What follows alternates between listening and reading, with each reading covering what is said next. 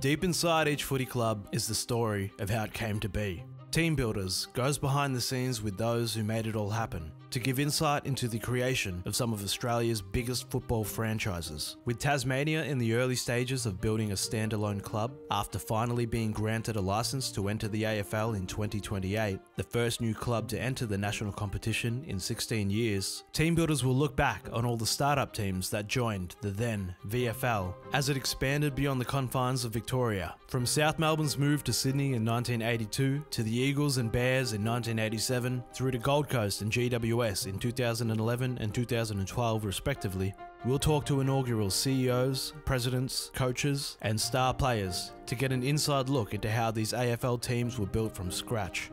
We we were insolvent. There's, there's no question about that. And we, lucky the ACCC wasn't about in those days. We would have been in real strife, I think, trading while we we're insolvent.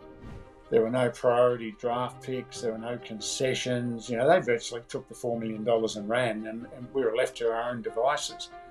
Way of life that Skase brought into the place that you just couldn't excise out of the joint. We didn't really have a marquee player like that. We had Izzy Folau, which I think confused a bit of the community to be like, is he still a rugby player or what's he doing? At least it created a lot of discussion. What it enabled us to do is to say to some South Australian players, don't go in the 1995 draft because we'll pick you up in the 1996 draft. That day, Graham Moss, ex Essendon champion, Brownlow medalist, walking out of Windy Hill getting spat on by the Essendon supporters. This is AFL Team Builders.